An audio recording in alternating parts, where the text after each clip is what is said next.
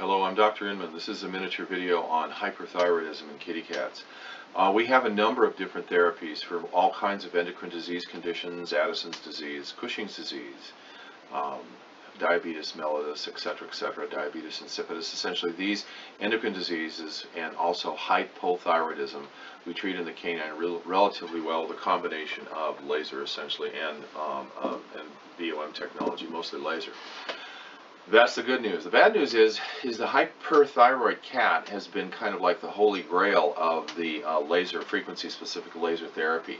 We should theoretically be able to treat a low uh, hyper-producing thyroid adenoma with our adenoma frequencies and also the frequency of 59 for the uh, actual um, for the actual um, thyroid and also the pituitary that stimulates the thyroid.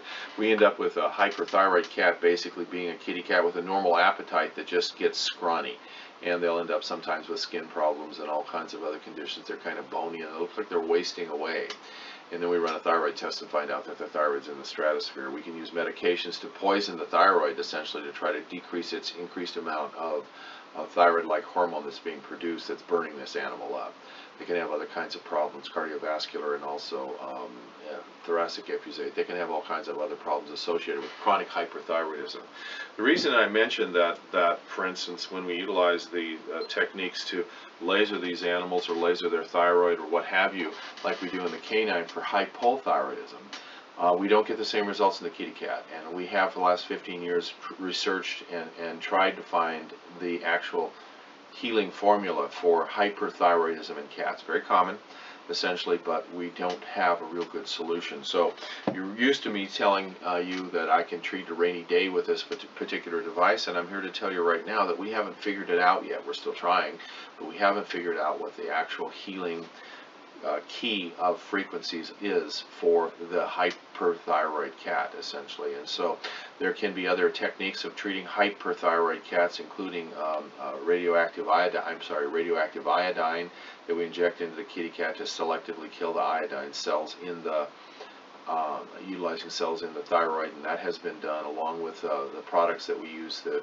the orally, and it can keep these animals relatively healthy essentially for a longer period of time. So here's a situation where we have not given up, but we don't have a solution for hyperthyroidism in the cats. I apologize for that. We continue to look for one, and you'll be the first to know essentially as soon as we find that essentially because it'll be a big deal. It is a common disease condition, very, very, very commonly un undiagnosed essentially, and also we see low-grade or borderline cases essentially as, as opposed to full-blown um, clinical hyperthyroid type cats.